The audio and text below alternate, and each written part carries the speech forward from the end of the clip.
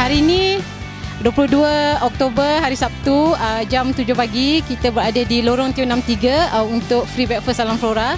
Cuma yang specialnya hari ini kita ada pembahagian di Pavali Pack. Selain daripada itu kita juga ada sediakan uh, roti canai dan paling bestnya kali ini kita ada ramai sangat volunteer terutama terutama sekali kawan-kawan saya yang dah bekerja bersama saya selama 20 tahun. Itu yang paling special sekali.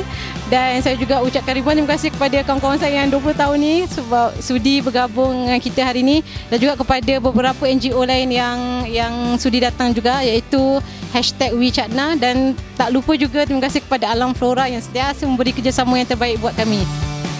Kenapa kami memilih Alam Flora? Sebabnya semua orang tahu Alam Flora ni satu um, entiti yang sangat penting dalam masyarakat. Cumanya kita tak pernah ambil tahu sebab kita rasa dia orang tu mungkin peranan dia nampak kecil tapi sebenarnya impact dia sangat besar. Jadi uh, kepada kami kaum projek yang sentiasa rasa mereka ni patut dihargai makanya kita orang uh, selalu buatlah event ni.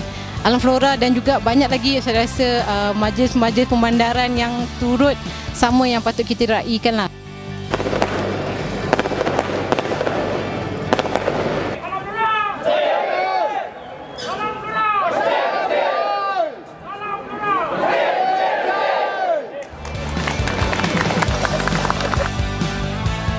Yang specialnya sebab persiapan hari ini kita ada uh, pembahagian pack-pack di Pavali. Uh, kita juga siapkan dapat seawal jam 5.30 pagi.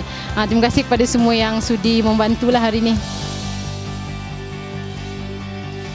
Pada petugas-petugas Alam Flora, kami kawan-kawan projek dan kawan-kawan yang lain uh, mengucapkan ribuan terima kasih yang teramat sangat kerana sentiasa memberi komitmen yang sangat tinggi dalam uh, membersihkan Bandaraya Kuala Lumpur.